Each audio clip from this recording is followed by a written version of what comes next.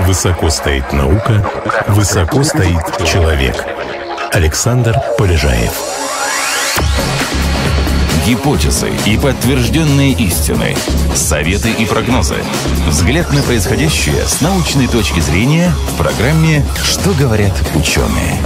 Что говорят, что говорят ученые? Для слушателей старше 12 лет. Здравствуйте, друзья! У микрофона Игорь Китаев. Зачем учить математику? Для многих людей этот вопрос просто не стоит. Они любят математику. Это для них как гимнастика для ума. А есть такие, которые со школы и в институте не любят математику, ну не дается она им и все.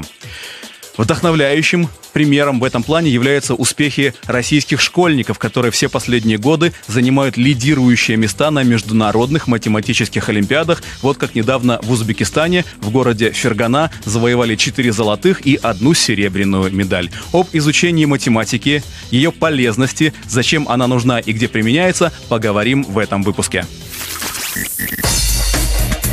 Для справки,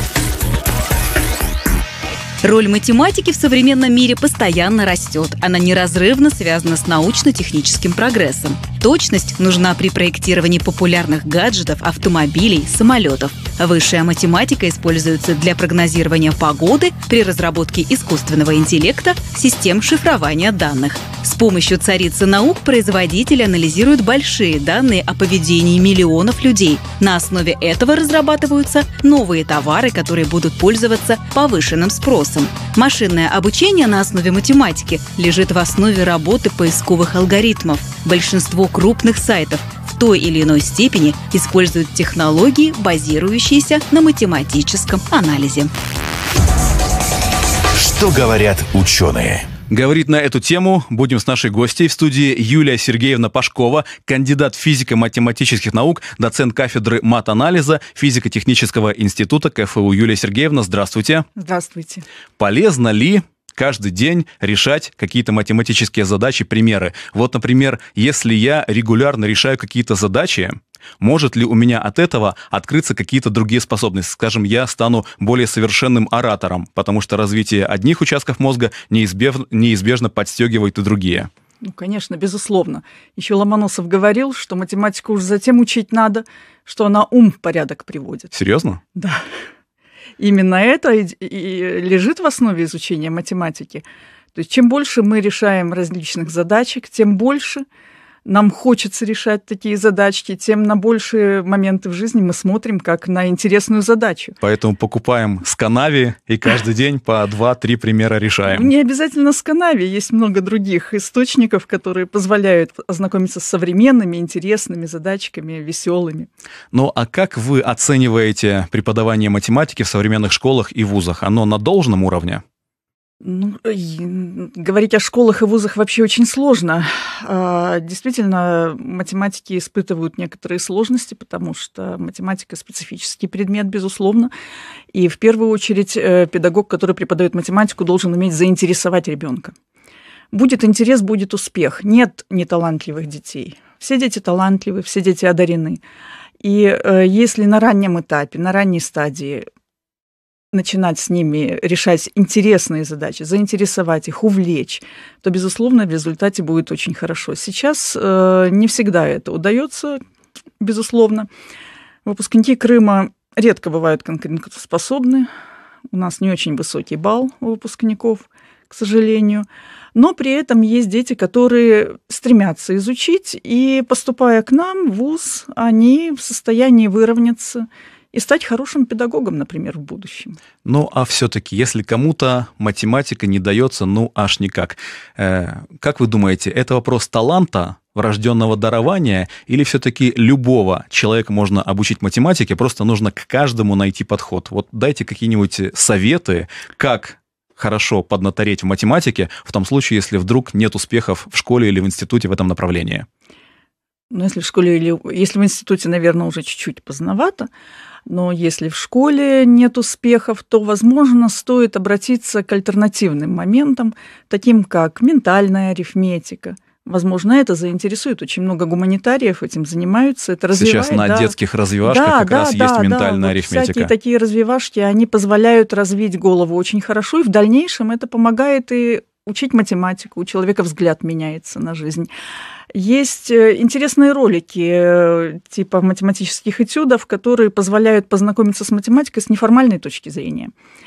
И тогда взгляд на ту же площадь поверхности, на объем тел становится совсем другим, когда это показано в виде небольшого ролика, мультика. Ваши личные успехи как преподавателя. Есть ли люди, ваши выпускники, которые добились каких-то серьезных успехов, должностей именно благодаря применению математики и в контексте математики?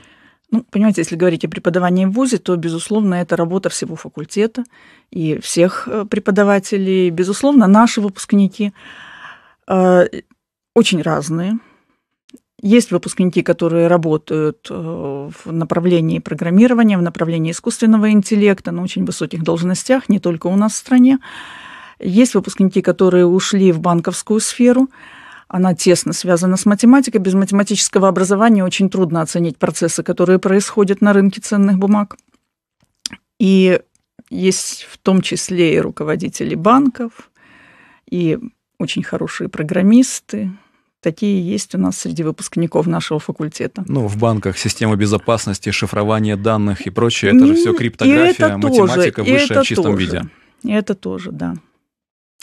Я уверен, что нас сейчас слушают люди, которые и правда любят математику, может быть, даже имеют соответствующее образование. Давайте их направим в какое-то полезное, ценное русло. Есть так называемые открытые математические проблемы, нерешенные математические задачи, над которыми человечество бьется уже, может быть, даже сотни лет. Э, да. Как вы думаете, в каких направлениях можно преуспеть, если сейчас начать прикладывать усилия? А, да, безусловно, есть исторические проблемы, над которыми человечество бьется много лет.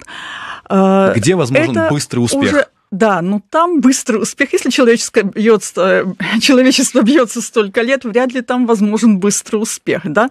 Но быстрый успех возможен, тем не менее, сейчас а, в таких направлениях, как визуализация данных, как э, ну, инжиниринг разных процессов, как виртуальная реальность. То есть в таких вот скорее не научных, а прикладных вопросах, да, это скорее технологии, чем наука. Быстрый успех возможен. Но для того, чтобы работала голова, все-таки надо идти от науки. И чтобы дальнейшее развитие могло быть. Очень много интересных задачек исторических, которые решены, но которые стоит порешать. Например? Такие задачки тоже есть. А, для себя лично каждый человек может открыть такое очень современное направление, как теория графов. Квантовые графы, на них основано все. Вся современная техника основана на квантовых графах. Однако совершенно посторонний человек, не знающий, что это такое, может открыть для себя это направление, решая, например, задачу о Кенигсбергских мостах или рисуя э, домики, если вы помните, когда-то рисовали домики, э, не отрывая руки от бумаги. Почему такой домик нарисовать можно, а такой домик нарисовать нельзя? Да, действительно загадочно. Да, и таких задачек очень много. Юлия Сергеевна, завершается постепенно время нашей программы, но у нас остается несколько минут для рубрики под названием «Блиц». Это пять коротких вопросов, на которые требуются короткие ответы. Поехали. Блиц-опрос. Вопрос первый. Знаменитый спор Ньютона и Лейбница, из-за которого произошла их ссора. Кто же изобрел математический анализ? На чьей вы стороне, Ньютон или его немецкий коллега? Для меня все-таки Лейбниц. Да, почему? Он Для был меня, первым, да, да. а Ньютон позже просто опубликовал свои работы. Э, вопрос второй. Считаете ли вы лично красивыми те картины или архитектурное сооружение или скульптуры, основанные на золотом сечении? А, ну, лично мне э, кажется, да. Хотя я не думаю, мне, мне кажется, что это красиво с точки зрения реализации мысли. То есть, может быть, дело и не в золотом сечении, просто художник красиво нарисовал. Да, а то, что он там одно дополнительно... то, что он об этом думал, это уже ценно. Понятно. Третий вопрос. Э, Нобелевская премия математикам, к сожалению, не вручается, но математикам вручается Абелевская премия и попроще, подешевле Филдсовская. Э, уровень образования, который получают математики в Крыму, достаточен ли для того, чтобы решать сложные задачи, проблемы и претендовать на Абелевскую премию? сложные задачи и проблемы мы решать можем. Ну, А над претендовать на премию, над этим будем работать. Э, четвертый вопрос. Ваш любимый математик за всю историю веков существования математики? Леонард Эйлер. Что он сделал, чем прославился? А, наверное, все знают число Е, да? Так. Это число Эйлера. Начнем отсюда. Хорошо. Это число Эйлера. На нем основано, да.